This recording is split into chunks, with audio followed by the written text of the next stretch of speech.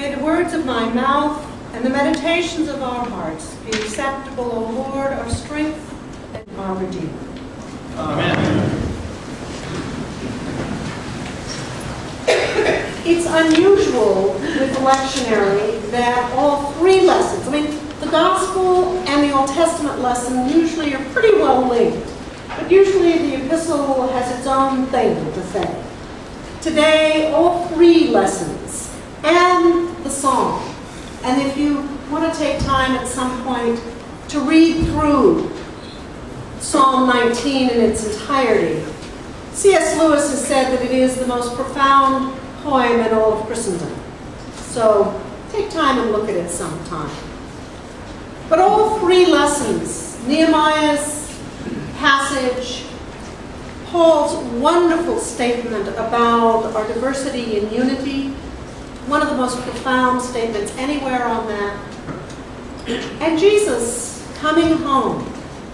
He's been baptized, he's been driven out into the wilderness, he's been tested and tried, and he comes home and he does what good Jewish boys do. He goes to synagogue on the Sabbath.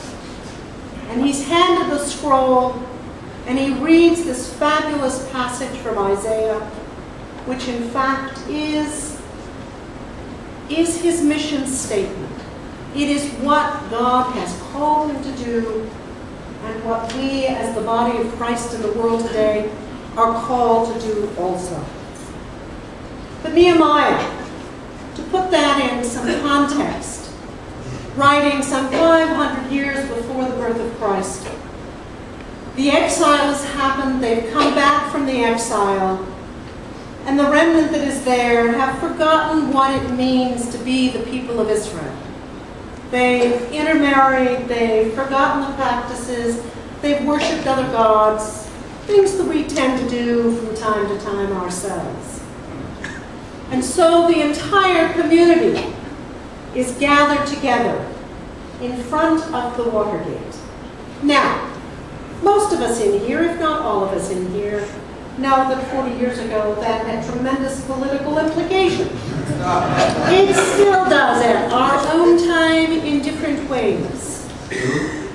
But they are gathered. And one of the parts that's really important is that within Hebrew scripture, women are not often mentioned. And twice in this passage, women are mentioned. Men and women and those who can understand. And in other places, it reads children who can understand. So the entire community is brought back and gathered together.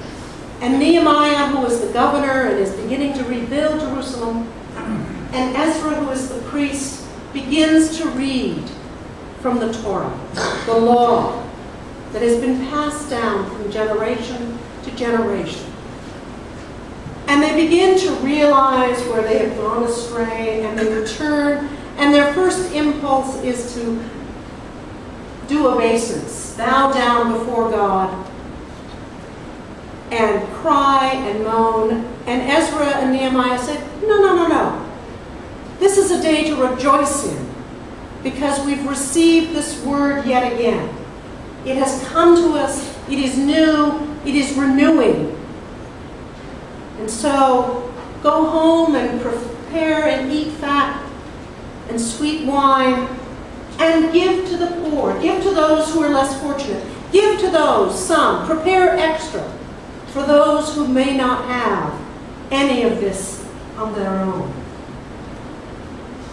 And so it is a day of rejoicing.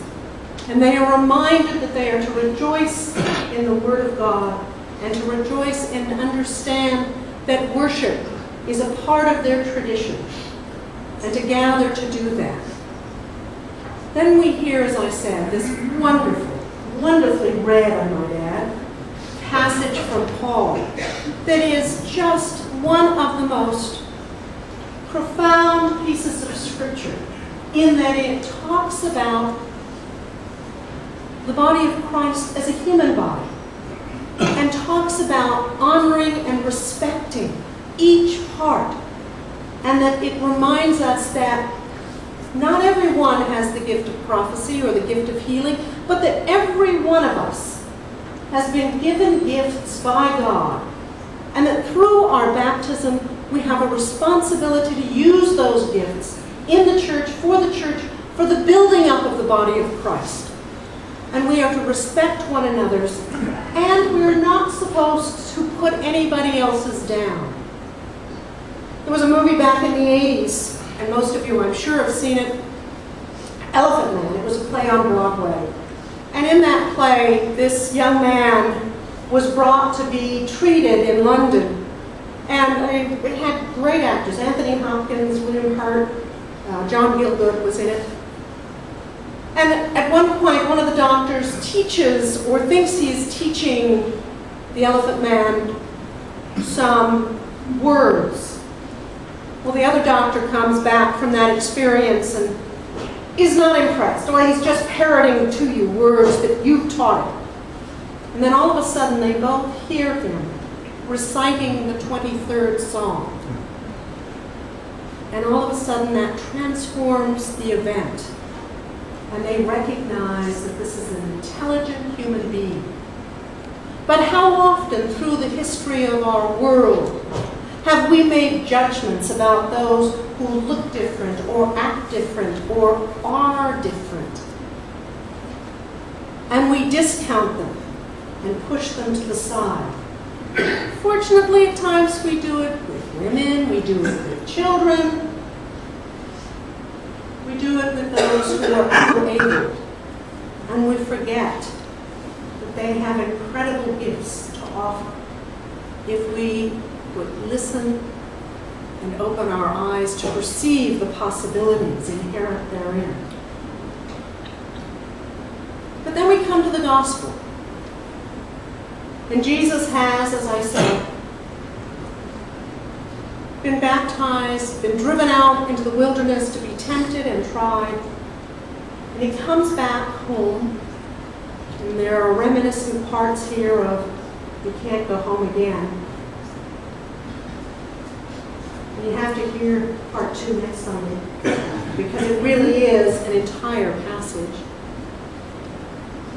But he reads this passage from Isaiah, and it really does state his purpose, what he is to be about. The inclusion of those who've been cast out, the inclusion of those who've been put on the fringes of society. And he sits down and all the eyes are on him.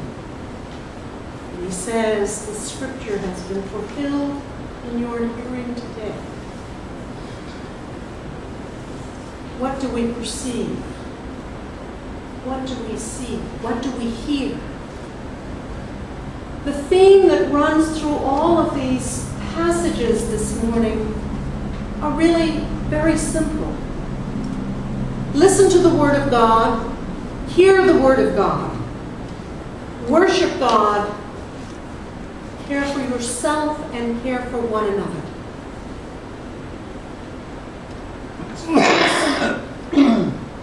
Listen to the word of God. Worship God. Care for yourself. Care for others.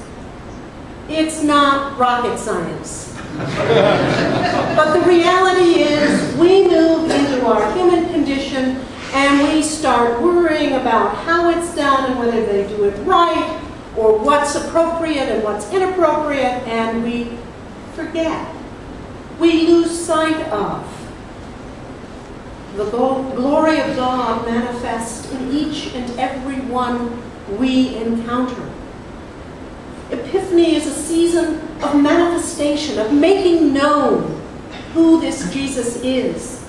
And each and every one of us, each and every one of us is called to show forth that glory in the world.